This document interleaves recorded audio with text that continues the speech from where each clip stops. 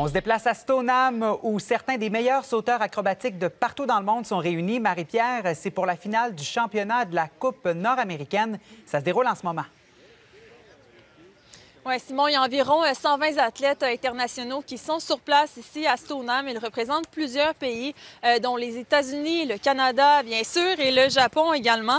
On assiste présentement à la finale des hommes pour l'épreuve grand saut. ce matin, c'était au tour des femmes. Il y a trois Canadiennes qui ont réussi à faire le podium, dont la Québécoise Naomi Ernest, qui a obtenu la deuxième place.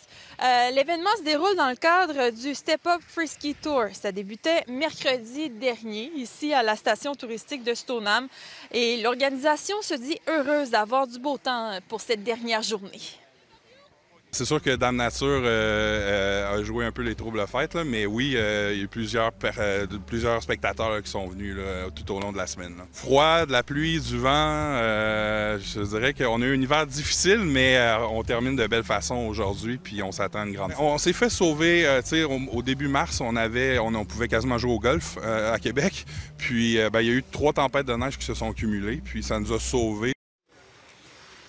Et il y a plusieurs athlètes, athlètes, oui, comme je vous disais, qui sont sur place ici à Stoneham. On a d'ailleurs eu l'occasion de parler avec euh, Jérémy Gagné, qui est de Stoneham. Il vient d'ici et il est très heureux de pouvoir euh, compétitionner à la maison aujourd'hui. C'est sûr que je suis ici pour cumuler des points pour euh, le circuit World Cup l'année prochaine et aussi pour avoir du fun parce que c'est à la maison. Ça fait c'est hâte de voir tout le monde ici dans cette belle journée-là. Voilà, Simon, donc euh, la finale des hommes pour l'épreuve Grand Saut qui se poursuit actuellement. Euh, comme je vous disais un peu plus tôt, euh, ben, c'était au tour des femmes ce matin. Plusieurs Québécoises qui ont réussi à faire le podium. Peut-être que ce sera le cas également pour les hommes qui doivent compétitionner cet après-midi. Donc, on aura l'occasion de suivre les Québécois plus tard.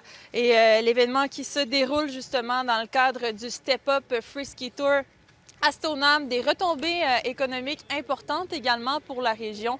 Euh, on aura l'occasion d'avoir plus de détails un peu plus tard sur nos zones, euh, mais on va rester sur place ici pour couvrir le reste de l'événement. Merci beaucoup, Marie-Pierre. À plus tard. À plus tard.